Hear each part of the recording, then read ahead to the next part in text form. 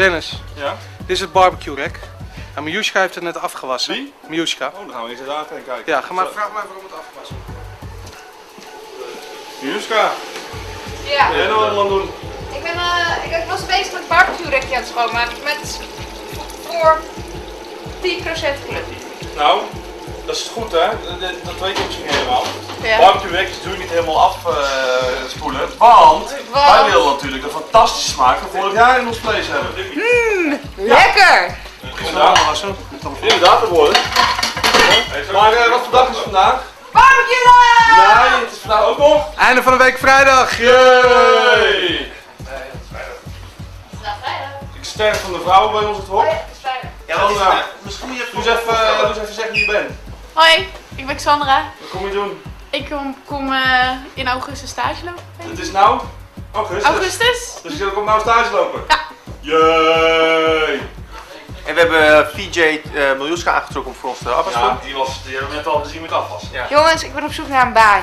Dus heb jij nog thuis een huis dat schoongemaakt moet worden? Kost een tientje per uur, niet erg veel. Meld je dan aan via de site van GameKings, jullie weten me te vinden. Nou, dan ga je met mij mee vanavond. Martin, Hey, bier, bier en tango. kijk eens. Terwijl we gaan barbecue noeien. Kijk eens. Kijk, hij wordt al warm. Tommy, terug van vakantie. Terug van vakantie en we gaan meteen barbecuen. Gelijk aan het barbecuen. Ik ben net op tijd, barbecue. Oh. I love barbecue. De fik staat erin. Te gek. Te gek. Einde van de week vrijdag betekent ook dat wij een... eh waar is Boris eigenlijk? Hier. Oh. Einde van de week vrijdag betekent ook dat wij even een trailer gaan bespreken. Trailer. We hebben een hele brute... Maar eh, laten we eerst eventjes de EF... Ik zeg weer verkeerd. UFC, Ultimate Fighting Championship, is in Amerika een van de grotere eh, ja, fighting eh, licenties Free fighting. toernooien, free fighting toernooien die er zijn. De gasten die daar meevechten zijn allemaal onder licentie bij de UFC eh, organisatie. Het is hier in Nederland ook niet zo heel erg bekend, al zie je het af en toe op Eurosport. Maar die shit is zo vreed. Er was één game, de allereerste UFC game, UFC, was op de Dreamcast. Hele vette titel. Daarna zijn er een aantal voor de Playstation gekomen, die waren een beetje kut, een beetje nep, een beetje gaar. Maar nu, Dennis, is er Ultimate Fighting Championship voor de... PS3 en de Xbox 360. Dat bedoel ik. En we hebben eigenlijk alleen maar een trailer gezien. Waarvan ons verteld is dat het in-game is, maar wel opgepoetst. Dat is dan weer heel eerlijk. Ja. Maar dat is ook nog een keer heel tof, want dan heb je dus echt een beetje idee wat het gaat worden. Maar het is zo ongelooflijk bruut. We is zien hard ook- ja, we zien een aantal vechtpartijen en wa- waardoor je eh, gelijk zin hebt om te spelen als je het ziet. Het zijn animaties. Die zijn zo bruut. Het is meestal bij die vechtgames is meer dat je uit zie je gast slaan en dan van hè, hè, weet je. Maar hier zie je echt gewoon de hele animatie. Als je, je ziet een trap en dan zie je gewoon de ja, ik ga het nu niet voor je kunt terugkomen, maar je ziet, een, je ziet een trap en dan zie je elke spier in zijn been zie je gewoon en je ziet gewoon die, die, die explosie die erin zit. Echt die, Gewoon, Fight Night in het nog toffer. Ja. En wat ik heel erg tof vond, je, op een gegeven moment zag je een gast gewoon blokken. Ja. En je ziet gewoon als jij keihard uithaalt, dat je gewoon dwars door die blokken heen trapt. Ja. Net zoals de echt, je ziet die gast echt helemaal kapot gaan. Dat.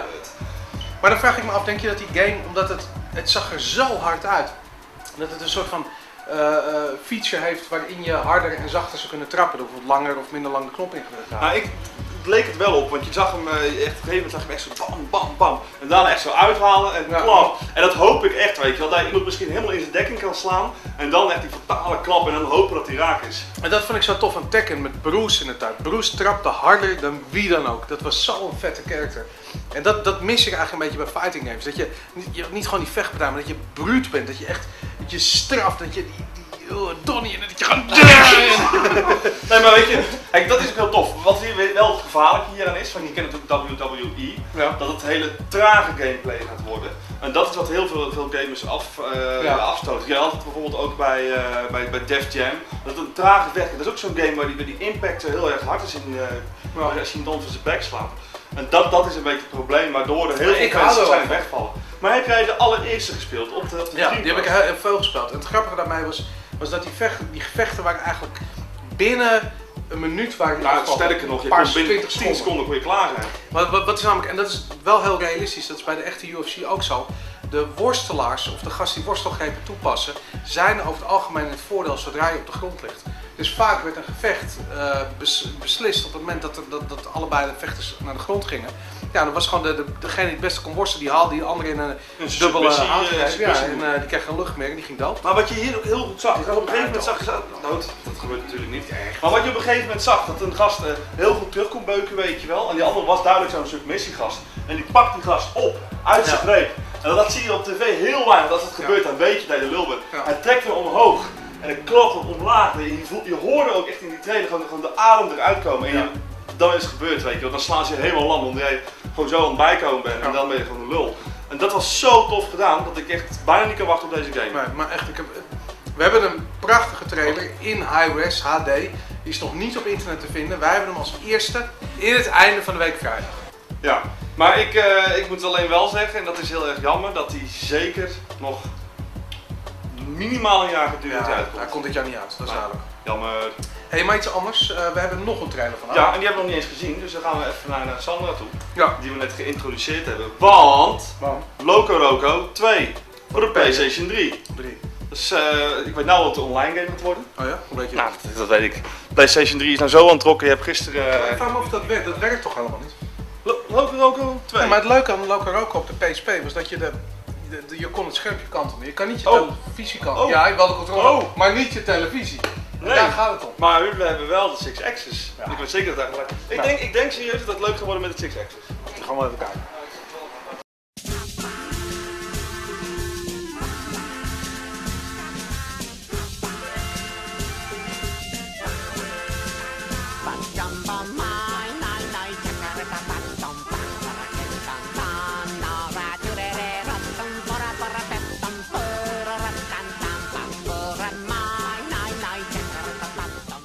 Leuk. Hey, maar, Maar het ziet er niet veel beter uit dan Loco Roco op de PSP. nee, maar dat gaat ook niet gebeuren, want dat, dat hoeft ook niet. Nee. Want het gaat om de gameplay zelf. Wat jij nou net zegt tegen mij, Ja. het leuke is eraf, dat je met L en R het beeldscherm kantelt. Dat Ja. kan niet op precies hetzelfde. Je, je, je doet het beeld kantelen in je Ja, maar de grap is, als je het speelt, dan doe je ook automatisch dit. En dat is het Nee, leuke dat dan. doe je niet automatisch. Dat doe je dus wel. Oh, nou, kijk, gaan we nou even discussie.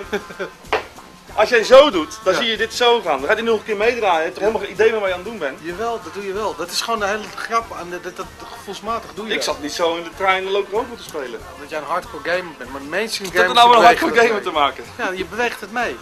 Moet je maar eens kijken, als je mensen ziet spelen, als je mensen ziet racen, dan beweeg je Ja, het ook zo. met mijn pa die race, zo zal ik zeggen. Maar dat is, dan, dan krijg je dus waarschijnlijk wel het 6X idee. Ja. Dat het dus met je... Ik zou mijn hele tv willen vastpakken en die zou ik willen draaien en dat dat werkt. Ja, dat is, kijk, wel die Samsungs, die kunnen dat hè. Ja, Dus ja, eigenlijk een draad, dat gaat zo draadloos natuurlijk. Ja. Dat je heel die tv zo... maar dan heel klein. Nou, is groot. Nee, klein. je nu groot Zo klein was? dat ik het in mijn hand kan houden. Dat zou tof zijn. Dan had hij dus op de PSP moeten uitkomen. Tadaa!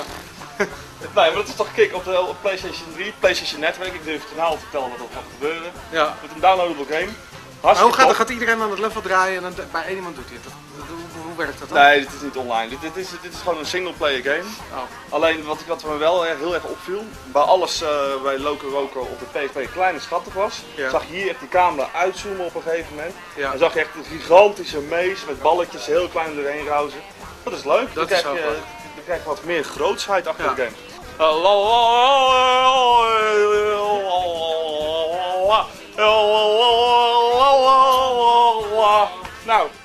tada, daar gaat het. Ja, maar het, grappige is dat die melodie, als je, als jij meezingt in een café, zing je altijd toch een beetje die melodie. En dat is altijd goed. Dus ook het, eh, ja, ja, daarom. Dit zijn, eh, maar eh, dit zijn Turkse worstjes. Omdat ik de echte naam niet ken. Roodborst volgens Ja, mij. dat is lekker. Ik denk dat we wel een beetje. eh, Ik denk dat we wel een beetje kunnen afsluiten met het einde van de week vrijdag. We hebben een aantal nieuwe mensen gezien bij Game Kings. Een aantal mensen die terug zijn bij Game Kings. Een aantal bekende mensen zijn gezien bij Game Kings. Twee toffe nieuwe trailers. En Donnie die ook zin heeft om te eten. Dus eh Donnie, kapper ermee. Yay!